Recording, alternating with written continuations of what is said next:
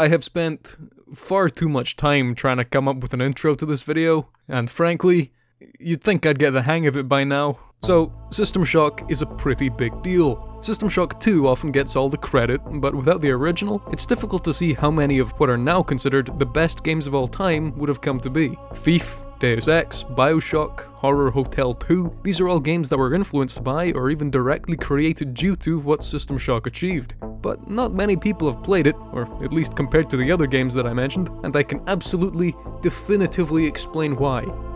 It, it's because it looks and sounds like this. Just kidding, of course. That's the 2015 Enhanced Edition. So, yeah, System Shock is certainly, let's just call it, unconventional by modern standards, but I, despite what my ego desires, am not the only person to notice this. Nightdive Studios, well known retro game necromancers, have decided that the game needs a remake, or as they are rather annoyingly calling it, a remaster. And wouldn't you know it, there's a demo available. Let's jump in.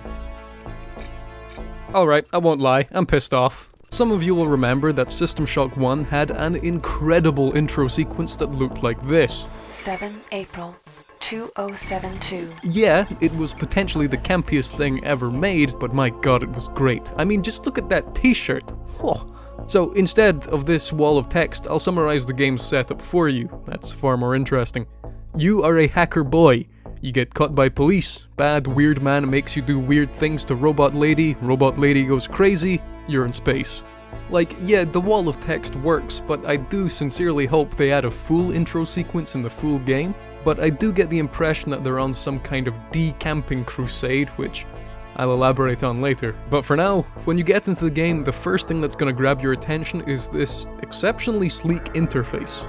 It's very legible. You know, you've got your health and your your blue and your numbers and you know what? It probably won't grab your attention because it's just kind of fine.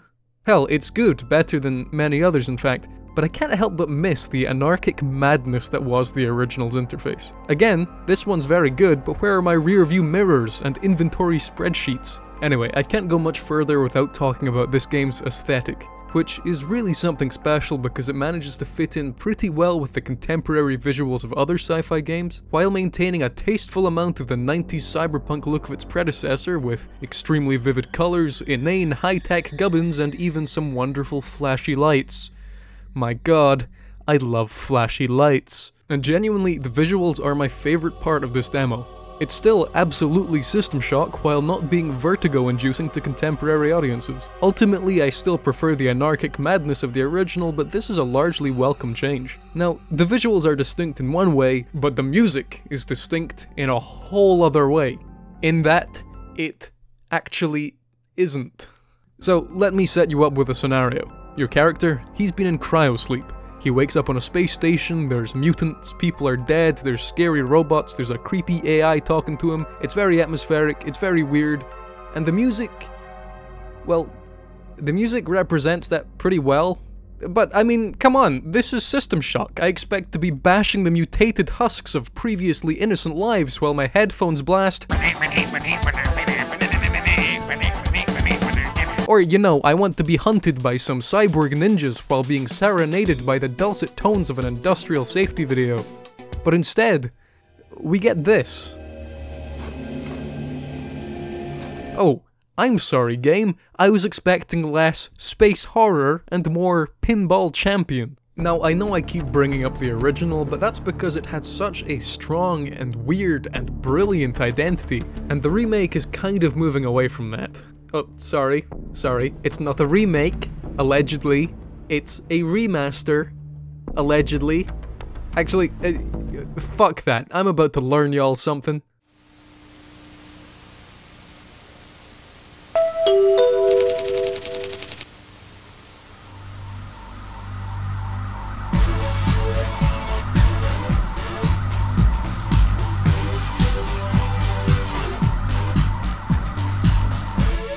I have no idea why there is any confusion about the words remaster, remake, reboot, and reimagining in the video game sphere. All other entertainment gets it right.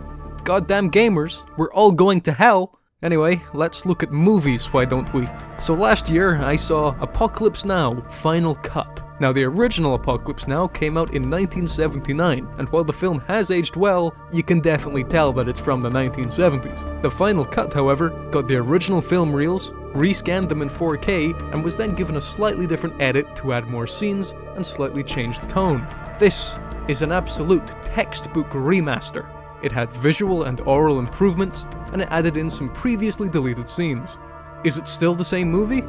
Yes, it's just been remastered, much like many video games are when a new console generation comes out. Goddamn gamers, man. I, hate them. The 1998 movie Psycho, starring starring Vince Vaughn, what the fuck, is an abomination. It's also a remake of the original 1960 movie. It was completely refilmed, or should I say, I, I don't have a face cam, but if I did, I'd be staring at the camera right now. It was completely remade. It's not hard, goddammit. Now this translates to games when a game is, get this, remade. Do you understand, System Shock Remastered? I will hold open the mighty jaws of Lucifer myself simply to ensure that we all bathe in the fiery depths of Hades. Goddamn gamers, I can't stand them. A reboot and a reimagining, however, are... Uh, you know what, you fucking figure it out. Anyway, I have absolutely excellent news, truly wonderful information.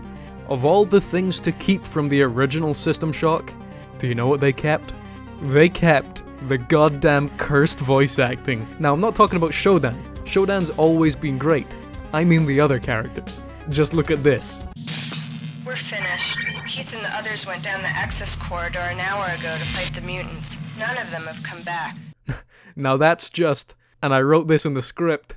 Chef Kiss. It's fantastic. It's so out of place, it's like I'm playing the original again.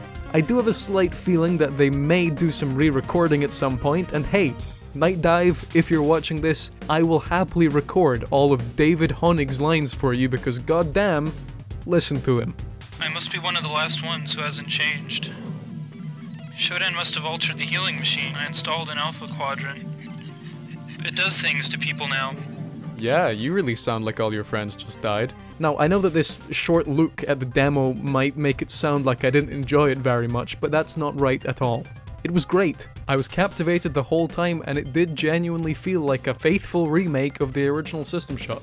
Or at least the first level of it. But the reason I've been pointing out the differences is because I don't want anyone to think that this remake will in any way replace the original. This one is definitely more accessible, it's absolutely scarier, it's more technically impressive, and it will never achieve the charm of the original. That's not a bad thing, I wouldn't want or expect it to. Now, I do believe I know why this remake is being made. I think it's because there's System Shock 3 on the way, and naturally they'd want the first two games to be somewhat consistent. Because honestly, at the moment, System Shock 1 and System Shock 2 are very different games. This remake kind of bridges the gap. And you know what, even if the majority of players will view the original System Shock as this strange red-headed stepchild of the series, I don't mind. Because to me, it will never be replaced. It's easy to look back at earlier works and cringe at their awkwardness and mistakes, or laugh at their unsuccessful ideas, but to me, those perceived issues are charming. And just because we can go back and do things better now, doesn't mean we have to. It's easy to forget that those awkward, clunky, nervous beginnings sometimes lead to something wonderful. Thanks for watching.